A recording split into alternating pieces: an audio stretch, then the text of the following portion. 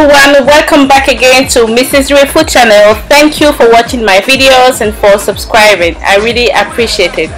So today i'm going to share with you my ghana corned beef jollof rice. And this is a very easy and tasty recipe. So as usual please stay tuned if you are interested. And i'll see you next time for another recipe. Take care and bye bye you need two or three onions and I'm using three. You also need salt to taste. I'll be also adding hot curry powder. And this time I decided to use powder Ghana chili and this one is very very hot. One Maggi cube and also beef seasoning since it is beef corned beef jollof. And I'm also adding two bay leaves. Here I have the main ingredient two cans of corned beef. And of course you need vegetable oil. I'm using two cans of peeled tomato and here I have one small onion, two garlic cloves, a bit of ginger and a bit of Thai peppers. But if you don't have these peppers, of course, don't use it. And I'm going to be using one tube of tomato puree. So now let's get right into it. So pour oil in a large pan and let it heat. Once the oil is hot, you can add your chopped onion. And then stir it and let it cook on a medium heat until the onion becomes tender. Next, add 1 teaspoon of hot curry powder. And 1 teaspoon of hot chili powder. And stir it and let it cook for about 1 to 2 minutes. You can now add 1 full tube of tomato puree.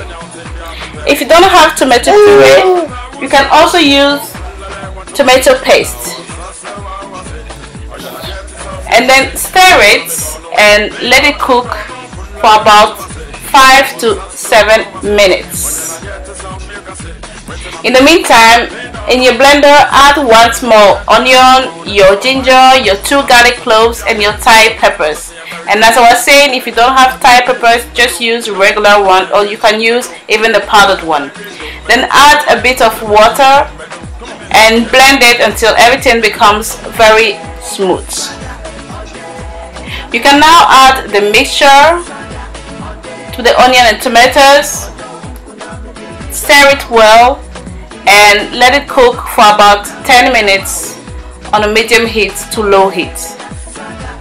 Next, in your blender, once again, add your two cans of plum tomato and then add your chili powder. And of course, the quantity of chili powder you add really depends on you.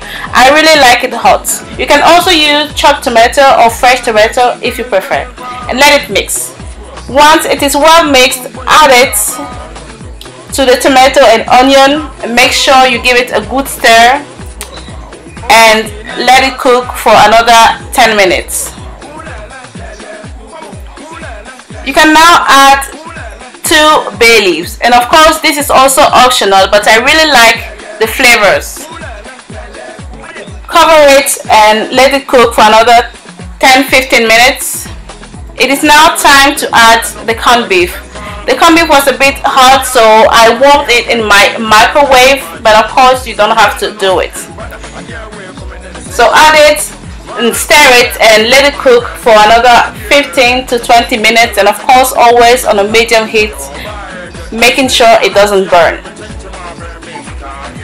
I am now adding my Maggi cube stock you can also directly add the beef one or the shrimp one. It really depends on your taste. Don't forget to stir it once again.